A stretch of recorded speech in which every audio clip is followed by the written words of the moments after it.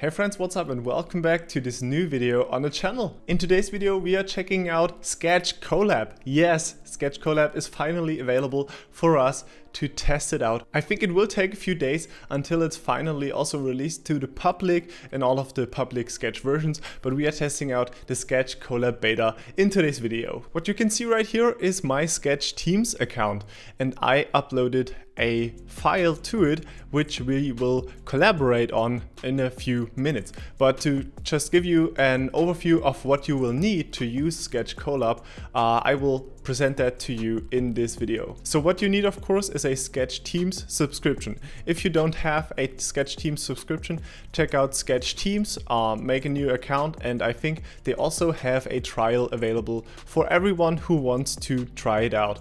Otherwise, it has these prices. So you pay $1 per contributor, but as you see, you have a 30 day trial available to test out Sketch Teams and Sketch Collab. Next up, what you have to make sure, of course, is to invite all of your team members that you can see down here um, invite them to Sketch Teams and then they are ready to also use your uploaded uh, files that are inside your Teams account and collaborate with you on them. So we can see right here that all team members have access to this file and they are able to edit it, view it and collaborate with us.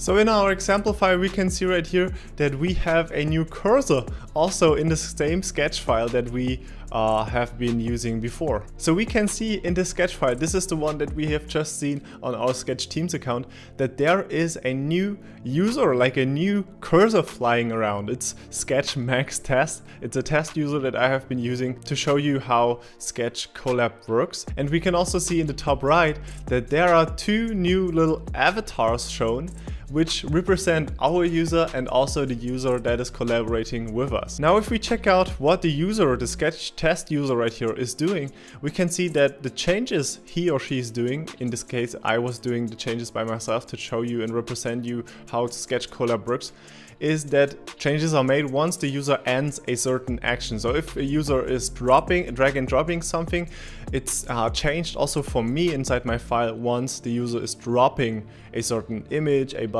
or any layer basically. So also regarding text edits. Text edits are made if a user finishes their task. And if we go onto our symbols page, we can see that the same things, the same cursors are also placed inside this page. If a user is going to the symbols page and making any changes there, we can follow their steps inside symbols too. And this works for basically all of the different pages that we have. And now you see in the top right that there is a certain set of users that is currently working on the document. And if we click the avatar of one of these users, we are initially brought to the page or to the exact position where this user is currently doing changes where the cursor of this user is placed. And this also ma makes sure that switching pages works as well as navigating on the same document. So it's pretty awesome to see what Sketch Collab makes possible in this early beta stage. Make sure to check out the documentation and also to the getting started guide that I will link down below to make sure you know all of the basics and all of the steps you have to take and to do to get Collab for yourself. It's working really fine so far even though as I said it's still in the beta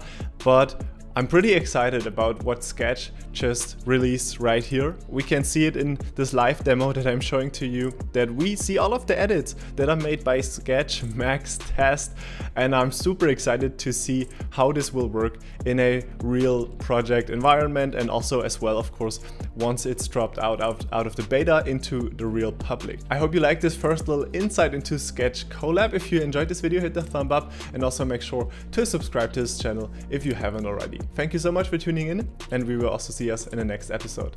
Bye!